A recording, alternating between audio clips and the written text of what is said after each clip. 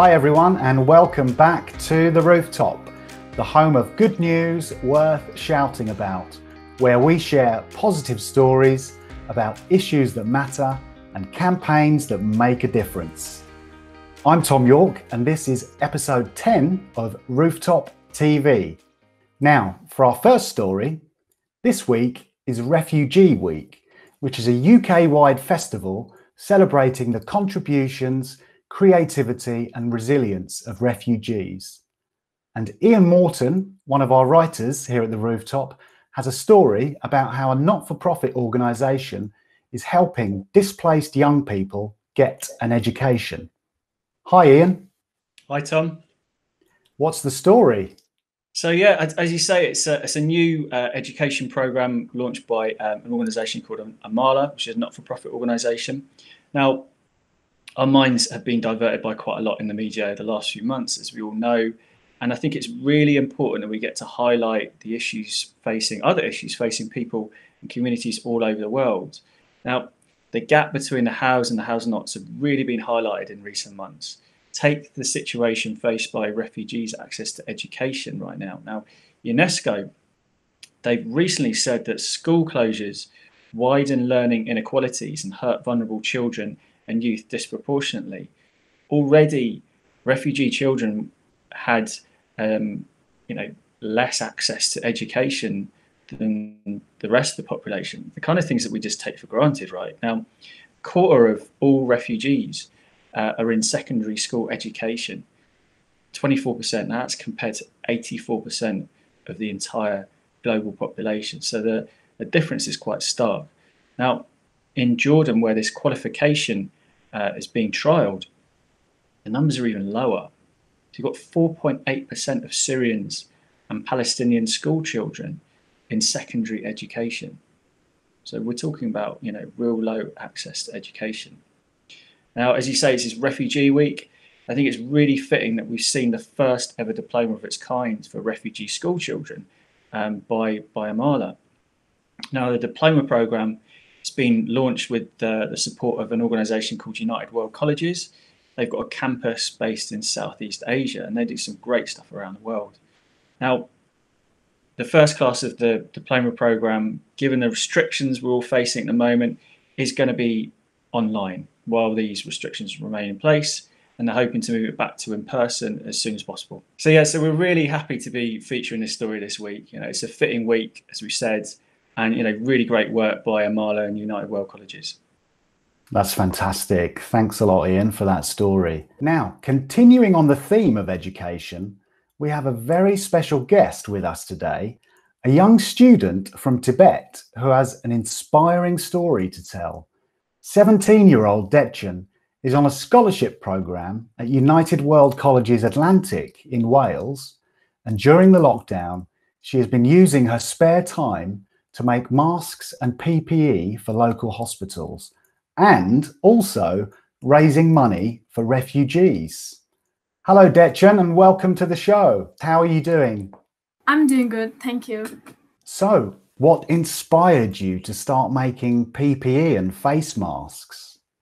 So, um, since the announcement of the lockdown, um, I stayed here at UK with my host family since I wasn't able to go back because our borders were closed. So, um, so we had some discussions about COVID-19 with my host family, and we were discussing about like how masks have been impacting certain countries and how it has helped um, to reduce transmission and overall rate of um, COVID, uh, spread of COVID-19.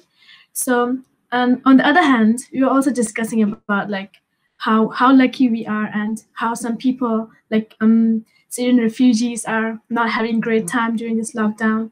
So so we decided to um, make some mask which we called friendly friendship mask and for elderly neighbors around us and all over St. Albans and also we thought like it would be great if we could raise some money out of it and um, donate it to Syrian refugees and help them. Yeah. That's fantastic. Really great work. How does it feel knowing that your hard work and donations are helping to protect people and potentially save lives in such a difficult time?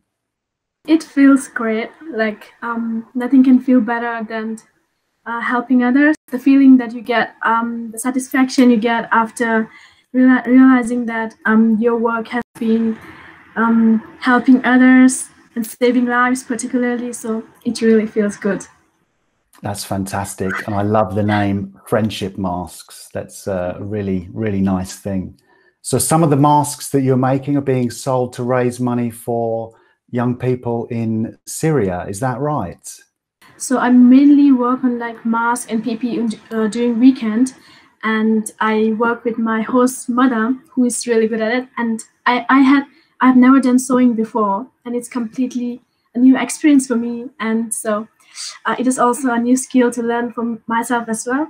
And yeah, um, so we had made like 500 masks now so far, and we have raised like um, about 7, 700 pounds. So we're still continuing to make uh, those masks. We also made some PPE gowns, and we recently delivered it to the uh, nearby hospital. And yeah, that's great. What are your plans for the future, Dechen?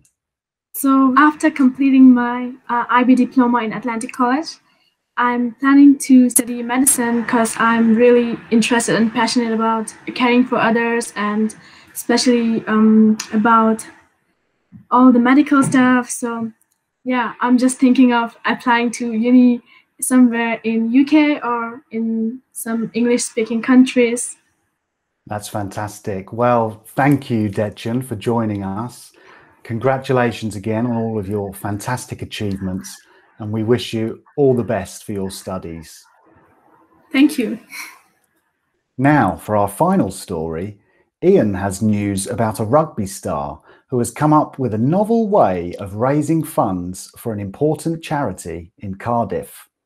Over to you, Ian.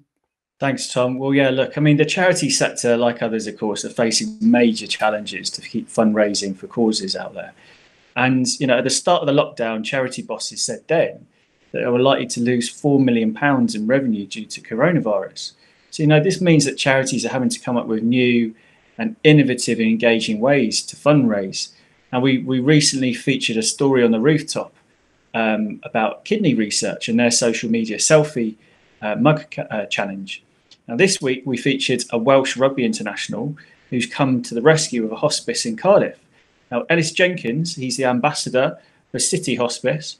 That's the only specialist uh, palliative care home in the Welsh capital. Now, due to COVID 19, they've had to cancel all of their fundraising events. So, we all know about the football Keepy Uppy challenge, right? Well, this is the rugby Keepy Uppy challenge. So, Ellis is asking supporters to film their attempts post on social media, and nominate others to do the same, as well as donating to the hospice, of course. Now, the suggested donation is £20, but you can donate whatever you feel, he says.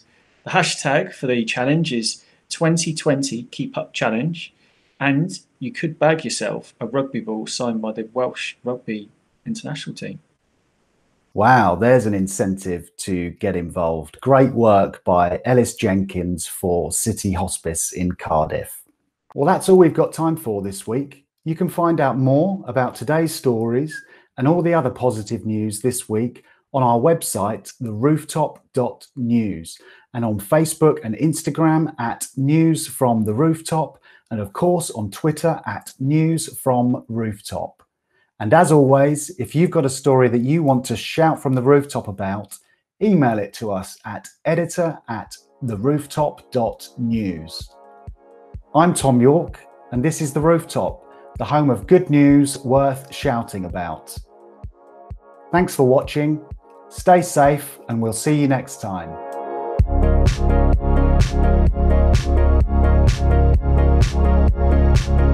Thank